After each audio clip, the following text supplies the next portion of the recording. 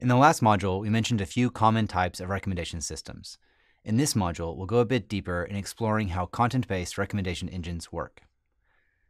Content-based filtering methods use item features to recommend new items that are similar to what the user has already liked, based on their previous actions or explicit feedback.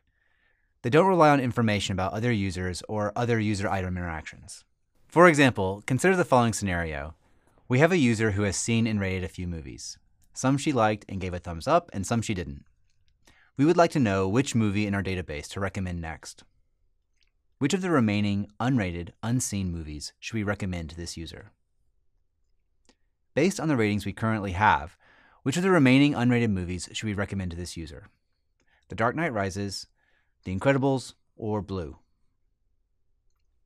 That's right, we would likely want to recommend The Incredibles.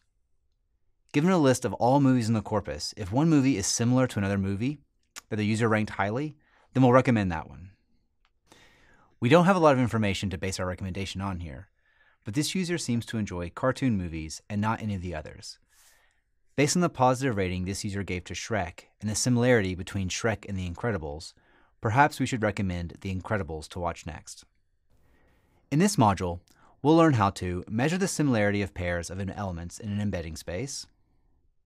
We'll discuss the mechanics of content-based recommendation systems and really see how they work and we'll see how to build our own content based recommendation systems one to recommend movies and one to recommend articles.